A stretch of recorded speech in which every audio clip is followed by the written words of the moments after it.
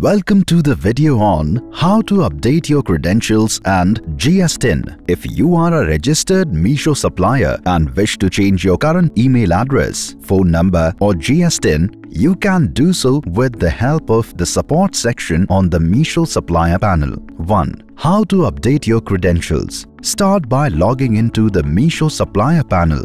On the left side, you will see the support button Selecting it will take you to the Meesho support panel.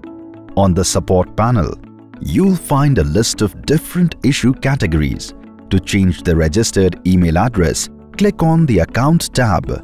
Once you are on the Accounts page, click on I want to change my registered email address and raise a ticket.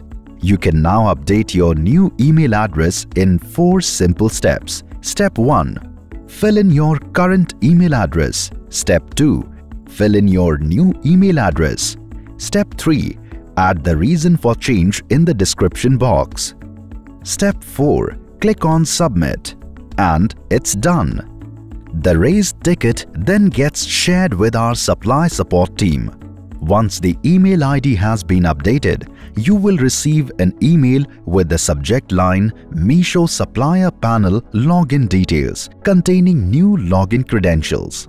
In order to change the registered phone number, we follow a similar process. Click on the support button on the Meesho supplier panel. Once you're on the support panel, click on the accounts tab and select I want to change my registered phone number raise a ticket to the supply support team by following three simple steps. Step 1. Add your new number. Step 2. Add the reason for change in the description box.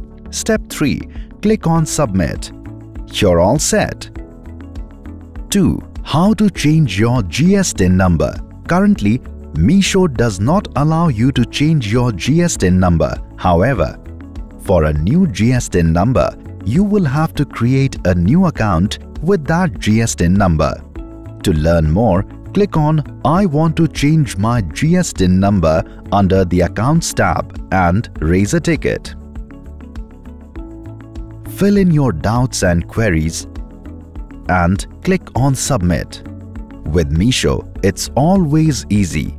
In case you're facing any login issue, you can simply click on Forgot Password on the Supplier Panel login page to reset your password. If you are still facing issues, you can write to us at sell at meesho.com. If you found this helpful, hit the subscribe button on our YouTube channel